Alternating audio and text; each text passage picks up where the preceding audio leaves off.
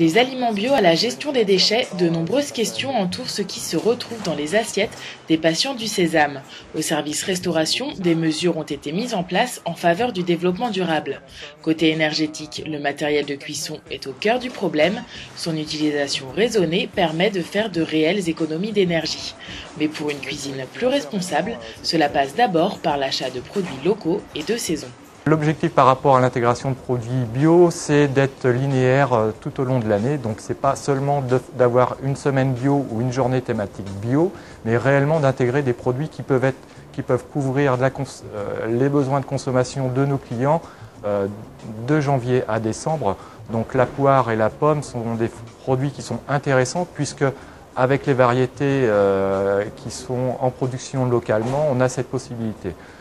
Un autre enjeu important, le tri des emballages et la gestion des déchets. Les produits sont déballés à leur arrivée pour que leur contenant soit immédiatement trié et revalorisé.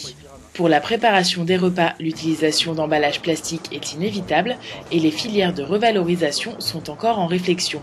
Mais déjà, des mesures sont mises en place pour limiter le poids des barquettes et autres emballages plastiques. Dans la démarche, on est plus sur la limitation de l'utilisation de ces barquettes en ayant recours à des formats qui soient adaptés aux aliments, euh, donc en évitant de recourir au maximum à de l'emballage individuel et de favoriser les multiportions. Dans la même logique, l'installation de fontaines à eau permet de limiter l'approvisionnement de bouteilles plastiques.